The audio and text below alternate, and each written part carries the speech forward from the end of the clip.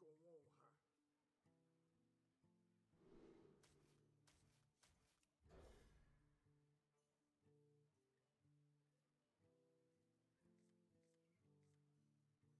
Salve.